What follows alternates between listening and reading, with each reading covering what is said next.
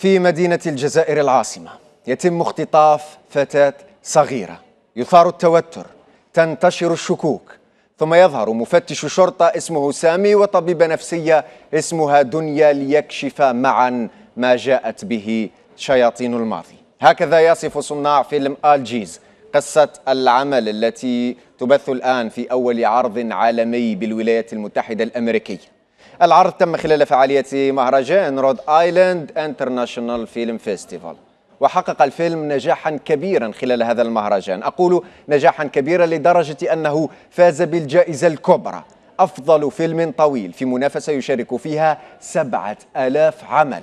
ليتميز الفيلم الجزائري عن كل هذه الأعمال.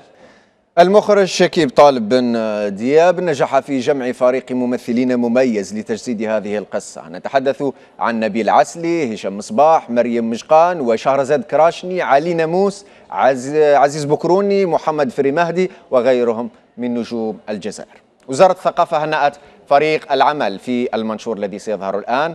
وكتبت في المنشور أن هذا التتويج يعتبر إنجازا هاما للسينما الجزائرية ومؤشرا آخر على الانتعاش الذي يعرفه هذا القطاع الحيوي. في السنوات الأخيرة يعكس أيضا موهبة وقدرات المخرج شكيب طالب بن دياب وكوكبة الفنانين المشاركين في إنجاز الفيلم.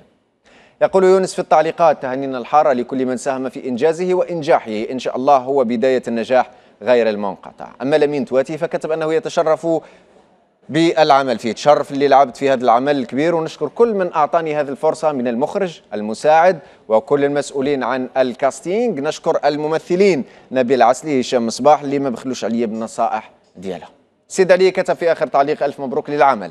ولصناع العمل الذين شرفوا الجزائر في واحد من أهم مهرجانات الولايات المتحدة الأمريكية.